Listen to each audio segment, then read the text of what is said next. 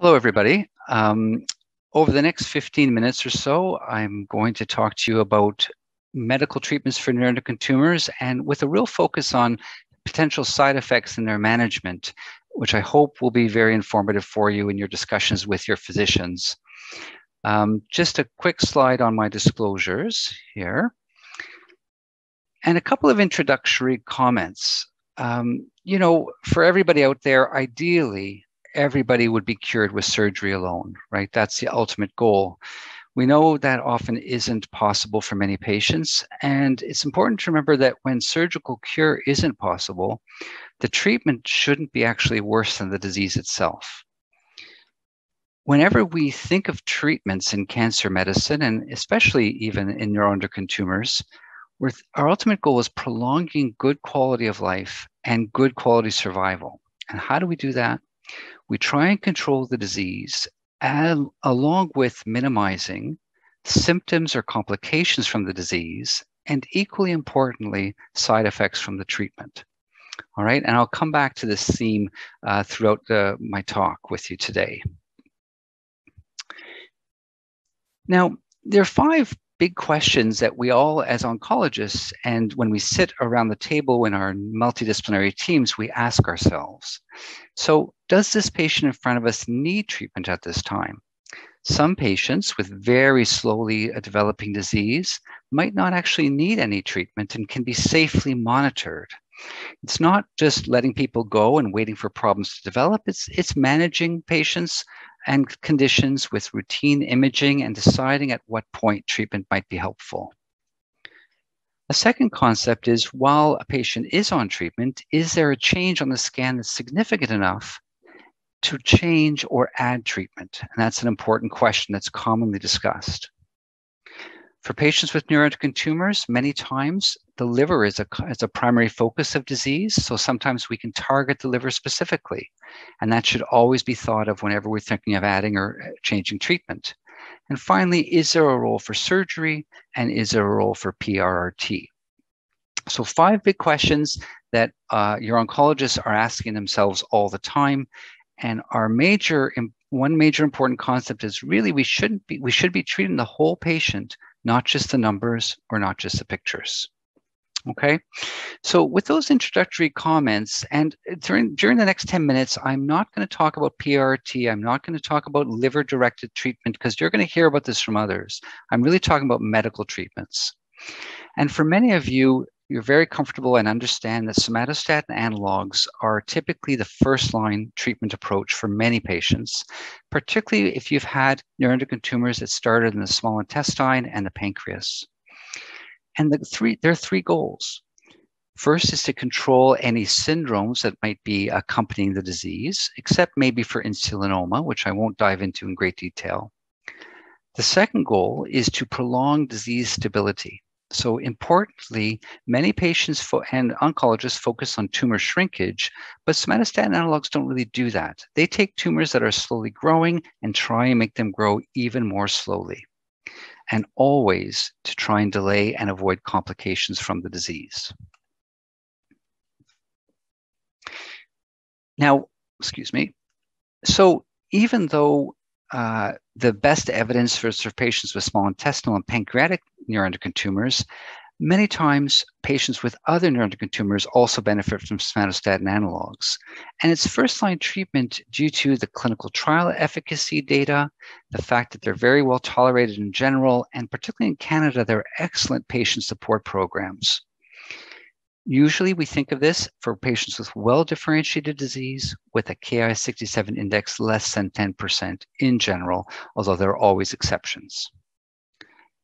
Many of you know that there are two options, Sandostatin LAR, which I abbreviate as LAR, and lanreotide autogel, I'll abbreviate as LAN. Both are given by injections. LAR is given by um, a needle into a deep muscle, into the bum, and LAN or lanreotide is given by a needle under the skin, not needing to go into the deep muscle. Now, from an oncologist perspective, both are very well tolerated, but I always joke with my patients that, but it's not me getting the shots in the bum. So it's always in the eye of the beholder. But in general, when we talk of cancer treatments, both of these tend to be exceptionally well tolerated. But there are issues. And probably the most logical first to start is injection site discomfort. Many patients report very minimal to no discomfort, but some shots may randomly cause pain. Um, a lot of my patients, we've routinely used something called pain ease or other numbing sprays, and you should talk about this to, for your to whoever's giving you the injection because it at least minimizes the discomfort from the needle penetrating the skin. Over time, and sometimes again randomly, patients can develop lumps in the area of the injection, and those can last for quite a while. Sometimes there's no pain at all associated with them, but they can get inflamed. And I've often recommended something like ibuprofen for the bad days if that happens. One can consider rotating sites. So most of these injections are given uh, again in the in the gluteal area, so the bum area, and rights and left are rotated. Um, LAN or somatuline can also be given in the outer thighs. So sometimes there's an opportunity to rotate further if lumps are a painful problem. And some, some patients benefit from actually switching from one of, the SS, one of these to the other to try and minimize this issue, usually from LAR to LAN. So issues to discuss with your oncologist, whoever is giving you the injections. Now, apart from the needle, the most probably the most common side effect, uh, particularly when patients start SSAs, is abdominal bloating or growling uh, with new or increase in diarrhea. And the diarrhea tends to be a bit different. The stools tend to be greasier, stickier, perhaps more foul smelling. Uh, this can last one to five days after each injection and usually extinguishes or settles with repeated treatments. And it becomes because both of these can decrease the ability of the intestine um, in absorbing fat out of the gut into the blood. And when fat hangs around inside the intestines, it can cause these symptoms. Many patients have had prior surgery to the small intestine, which can also increase the risk of this being an issue. So I oftentimes will talk to my patients about starting a low fat diet on the day of injection and for one to five days after. Some patients find that helps. And another remedy that can be very helpful is consideration of something called pancreatic enzymes, which basically are capsules that one takes before they eat so they're a bit of a, a bit of an annoyance for sure. That basically replaces uh, or helps the intestine absorb fat and can decrease the risk of this side effect. So again, something to consider, something to talk about if that uh, becomes an escalating problem for you. Um, very importantly, because if you remember, the abdominal bloating growling can come with increasing diarrhea. And if you have carcinoid syndrome, you may think, well, that's my syndrome getting worse, or your oncologist may think that. Not always the case. Sometimes it's from the treatment. So always beware. Another important concept is if you're if you have had diabetes or you're pre-diabetic, if you will, these drugs can escalate blood sugar so it's important to record them more frequently for at least the first five days to get a sense of this as an issue. And it can be sneaky, it can sneak up in time. So if you're on these treatments and you're finding yourself thirstier than usual, you're peeing more than usual, you're more fatigued, you're losing weight, remember that blood sugar elevation can be important. It's really important to discuss it with your GP or nurse practitioner as well as your oncologist to make sure that this doesn't become a sneaky issue for you that requires management. And for some patients, it's very important. And finally, a vague sense of feeling off. I don't know how better to describe it. It's not usually due to blood sugar or anything we can measure. It's a, usually a transient sensation lasting a day or two, very unclear reasons. It's kind of motherhood advice or fatherhood advice. I, I advise patients just to rest and go slow and try and go with it.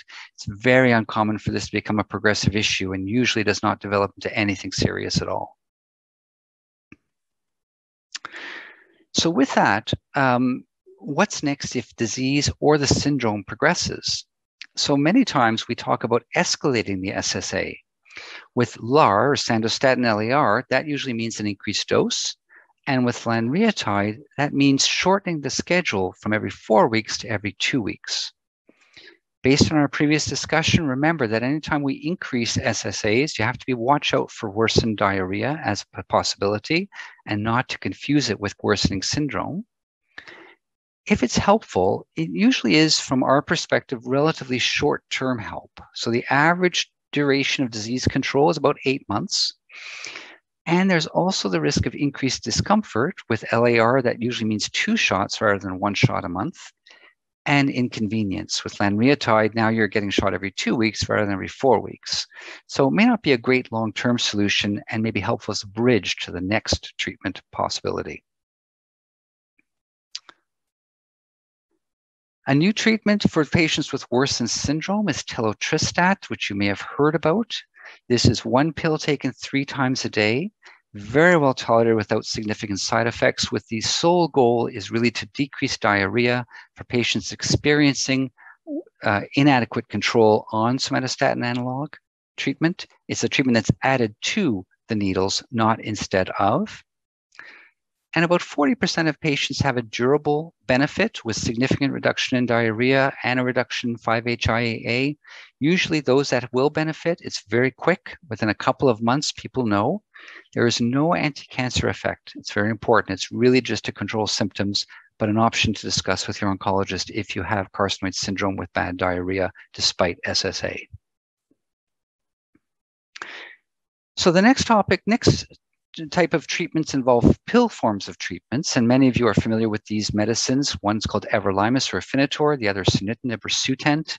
These are what we call targeted treatments. I wish they were more targeted than they were, but they're once daily when they are, but they're once daily pills. And again, the same goals prolong disease stability or to stabilize disease that is progressing Tumor shrinkage rates are again quite low, less than 10%, and there are new options on the horizon, but I'm going to focus on the two here that are the ones most commonly used. So everolimus or Afinitor can be well tolerated, but mouth sores can be an issue.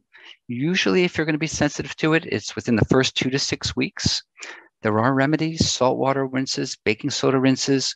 In oncology, we have a lot of these things called magic mouthwashes. They're not so magical, to be honest, but they can help some patients. And in worst case scenarios, we have a rinse that involves steroids that can help with this. So can be an issue. It needs to be actively managed. Fatigue, rash, and diarrhea can also be problems for some patients. Obviously, resting with fatigue is important.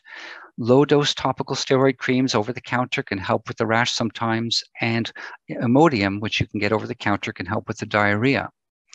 But when you combine all these side effects, and although they could be, can be quite low grade, if they're persistent and long lasting, they can really interfere with your quality of life. Some of these, or sometimes all of them, can be prevented by starting this medicine at a lower dose than what is usually done, so five milligrams rather than 10, and then re escalating if tolerance is excellent. Again, an option to discuss. An important side effect that can be sneaky involves the lungs. So, everolimus can cause potentially serious inflammation in the lungs that requires an urgent stopping of treatment and a course of steroids. And the symptoms are, as you might expect, cough, shortness of breath, or wheezing. It can mimic pneumonia, it can mimic asthma. So it's important to know that this can happen. It usually slowly progresses over a few weeks, and it can happen randomly after many months of treatment. It's not an allergic reaction and not something that happens right from the start. So it's very important to know about it and to report any new symptoms along that in that domain. Like SSAs, everolimus can also drive blood sugars up even without pre-existing diabetes. So if you start having symptoms like I've discussed previously, it's important to remember, uh, could it be my sugar? Get it checked and then get it managed if that's the case. As well, it can cause a slight risk of uh, strange infections, but that's usually not a big of an issue uh, in our patient population. Sunitinib uh, is another one of our pill-based therapies the most one of the common side effects it can cause is hand-foot syndrome, and I, you see the pictures here. Usually within the first weeks, although it can happen months after starting treatment. I describe it to patients as getting a sunburn in the second most unlikely areas that you might expect: palms of hands, soles of feet. It's very important. The skin becomes very sensitive, so if you're a walker or a hiker, you have to make sure your shoes fit properly, your socks aren't rubbing, and you may have to modify your activities. Really important to have moisture, great moisturizing. We oftentimes recommend udder cream or Eucerin, slathering constantly to try and minimize this. Sunitinib can also drive up blood pressure, so it's important to optimize blood pressure before starting, and you may need more frequent monitoring if you're treated for hypertension, especially in the first few months, to make sure that uh, your, your antihypertensives can be adjusted. And sunitinib, unfortunately, does have a risk of blood clots, and that can happen at any time. So, any sudden pain or swelling in one leg, any sudden shortness of breath or chest pain while you're on it, that means a trip to the emergency room to get assessed and make sure that you don't have a blood clot problem that can be easily treated uh, and very important not to be missed. It can be very tiring uh, for some patients, but also causes problems with the thyroid. So sometimes fatigue is due to low thyroid. So it's important to know that so that your family physician or your oncologist will check your thyroid as you go forward, because it's very easy to fix that with some thyroid replacement. And finally, uh, many patients over, if they're on sunitinib for quite a bit of time, will report that their skin changes and especially their hair can become silver or gray. It's not just necessarily because you're getting older. Uh, sunitinib can cause a silvering of hair and some skin depigmentation, and you have the pictures there. So just last couple of minutes here, turning to chemotherapy. Most of us have an image of what chemotherapy is. Thankfully for neuroendocrine tumors, uh, that really isn't the case. And that's due to a treatment called CAPTEM, which is familiar, I think, to many of you and is become increasingly the first line chemotherapy we, we turn to if we need if a patient needs chemo. The best evidence is for those with neuroendocrine tumors of arising from the pancreas, but it's often considered for a wide variety of patients if disease is clearly progressing and especially if there's an impending threat to health. And you can see with this picture, there are two medicines, capecitabine in purple, given every day for 14 days. I wish it was just one pill. Usually ends up being two or three pills twice a day for the 14 days. And the last five days, temozolomide. So it's a lot of pills.